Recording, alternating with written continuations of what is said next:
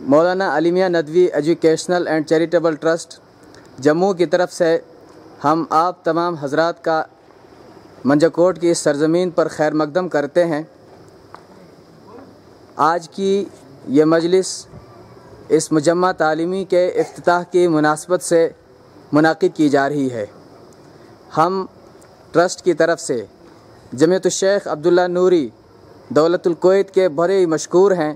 کہ جن کے قیمتی تعاون سے اس علاقے میں اس مجمع تعلیمی کی تعمیر اپنے اختتام کو پہنچی، جو ایک سکول، ایک باتھ روم بلاک اور ایک مسجد پر مشتمل ہے۔ اس عمارت کے افتتاح کے لیے ہمارے درمیان جموں سے حضرت مولانا مفتی عنایت اللہ صاحب قاسمی داؤن برکاتہم تشریف فرما ہیں، جو امام و خطیب ہیں مرکزی جامع مسجد تلاب کھٹیکا کے۔ ہم ان سے بادب درخواست کرتے ہیں کہ وہ اس عمارت کا افتتاح نقاب کشائی کے ذریعے کریں۔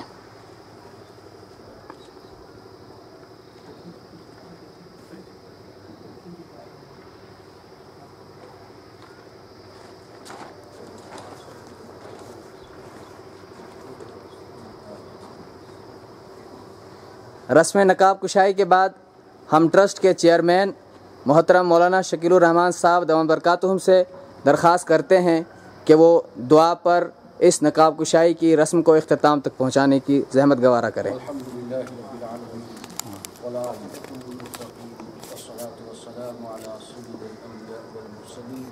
وعلى آله وصحبه أجمعين اللهم ربنا ظلمنا أنفسنا وإن لم تغفر لنا، وترحمنا لنكونن من الخاسرين اللهم ربنا آتنا في الدنيا حسنة وفي الآخرة حسنة وقنا عذاب النار. اللهم ارحم أمتي سيدنا محمد صلى الله عليه وسلم. اللهم اغفر كافة المؤمنين والمؤمنات والمسلمين والمسلمات الأحياء منهم والأموات. إنك سميع مجيب الدعوات. اللهم إنا نسألك علما نافعا ورزقا حلالا طيبا واسعا وشفاء من كل داء.